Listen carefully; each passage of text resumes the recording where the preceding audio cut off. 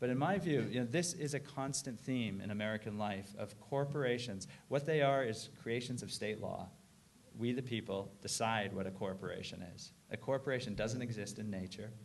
It exists because we, the people, through our state legislatures, decide we're going to have a corporation law, and then we define what a corporation is um, and how you can do it. You have to, you know, we want to start a business. We could do it today, um, but if we wanted it to be incorporated, we'd have to file something in Augusta, comply with the corporate laws, and then we'd get the benefits. It's a, it's a privilege.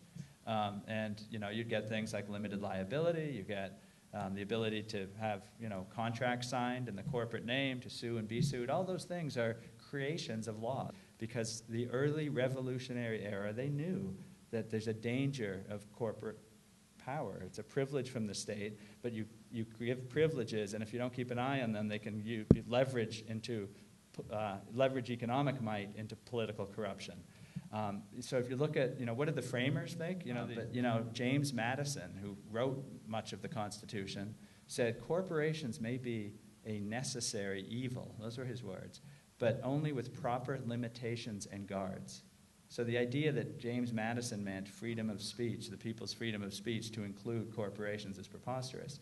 Um, James Wilson, one of the first Supreme Court justices, also a signer of the Declaration of Independence at the Constitutional Convention, um, said the same thing that they, corporations may be useful tools for economic activity, but they must be subject to inspection and only uh, allowed with very great care of the people because the founder's experience was the East India Trading Company. Um, that tea that was thrown into Boston Harbor was a corporate monopoly that the English government said you got to buy from the East India Trading Company. Um, and so, you know, they had had personal experience with corporate power. Uh, in those days. Um, Thomas Jefferson, he was always more colorful, right? The, uh, the tree of liberty must be watered with blood every 20 years, that kind of talk. He said, um, you know, that, that he would crush in its birth the moneyed aristocracy of corporations which dare already to challenge our government. Those were his words about the Bank of the United States Corporation. Um, so, you know, this is a theme that goes all the way back to the framers. Um, and then in the progressive era, the last Gilded Age, I think it's a lot like our own. You know, remember the turn of the century, the railroad corporations, the, every industry had, had concentrated power and great, great in the sense of big and huge corporations. There was the Sugar Trust, the Rockefeller Oil Trust. That every, every industry had essentially concentrated into corporate power, and they were corrupting our government.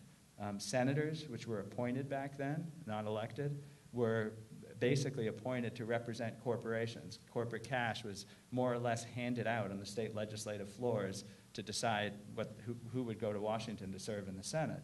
Um, and, and that's when the first sort of corporate person idea got pushed into our Bill of Rights, and the people pushed back. We forget that sometimes. You know, we want to say, oh, this has been going on for 100 years. No, it's been going back and forth.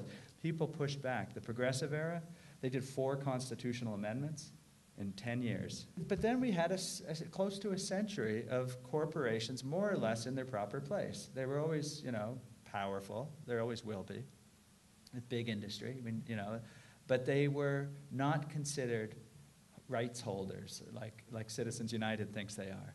Um, and, and there's, there's many cases from the middle part of our 20th century where the Supreme Court's very clear that corporations are instruments of the state, they're creations of the state, and the people have the right and maybe the duty to regulate them properly, to make sure that they don't hurt the public interest. They exist because the states allow corporations to exist to serve the public interest. Now, how did that change? Well, my, um, remember Earth Day, April 1970. Um, April 1970, 20 million Americans came into the streets 20 million. I mean, can you imagine one day, 20 million Americans into the streets? And if you look at the pictures, you'll see, maybe some of you were there, you'll remember, it was not sort of a 20 million radicals, there may be some radicals, but there may be also conservatives, a lot of people in between. It was a, you look at the pictures, it's mainstream Americans with their kids, with their, you know, just all kinds of different people um, coming out. Now, why? Um, well, although the law said we could regulate corporations, they had resisted any kind of environmental regulation. Rivers were catching on fire. Uh, you know, the, um, Air was so toxic in places uh, that pe- people were literally dying. But the toxics and the, and the environmental damage was uh, so extreme that I think Americans knew we can't go on like this. Literally, we, we will not be able to survive.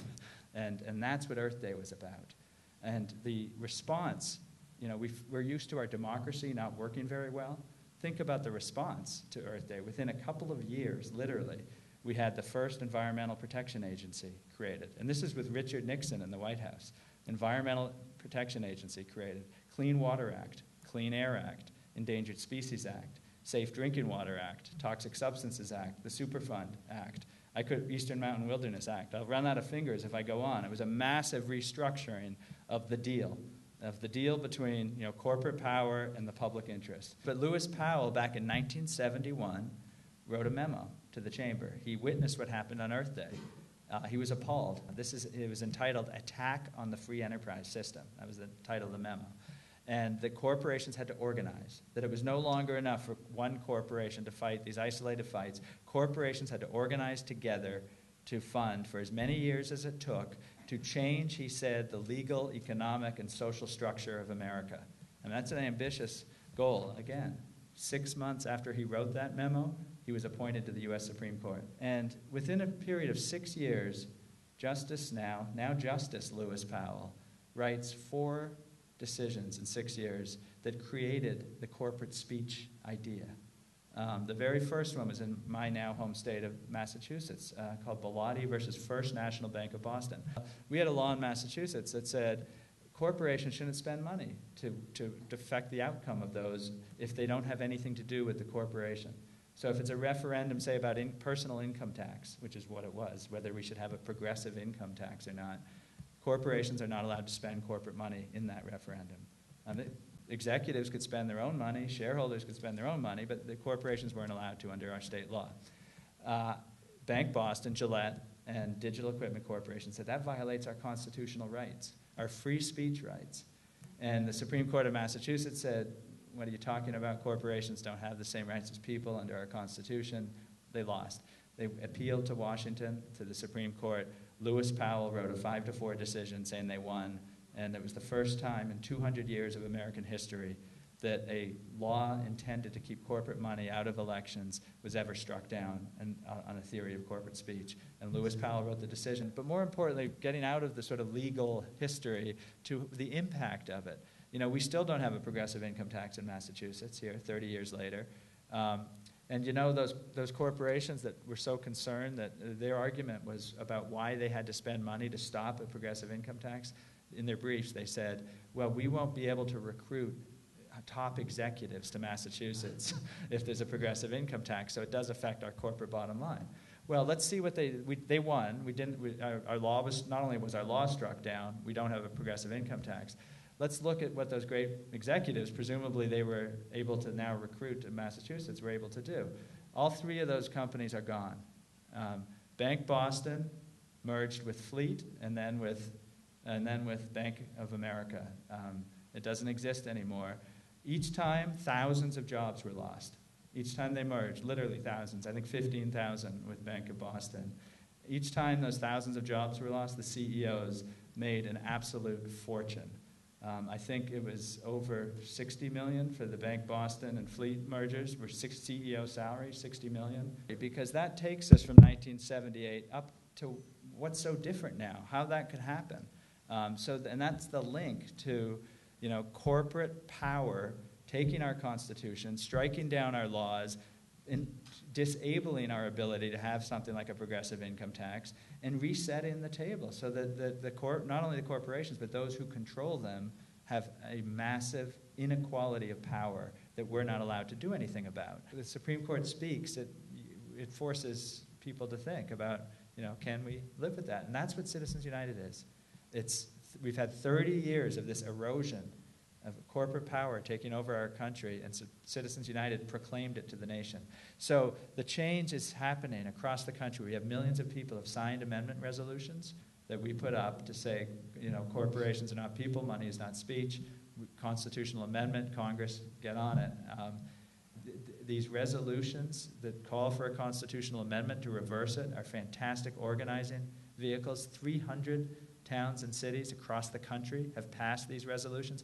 Uh, so we've got Boston, New York, LA, um, big, big cities, small towns, all in favor of this amendment. Um, six states. We've got a thousand business leaders now on board and a co-sponsor. There's basically two problems if you think about the amendments: corporate power, corporate personhood, as some call it, and the money problem of unlimited spending. And there's amendment bills that get fix both of those. So that I think is the litmus test. I would ask you to say not to let. It's okay if they're in different amendments right now. It's just but but you want your um, constitutional amendments the um, combination of them or together to address the, you know, the Sheldon Adelson billionaire spending problem and the Monsanto you know, corporate rights problem. Um, we have to fix both of those if our democracy is going to go forward.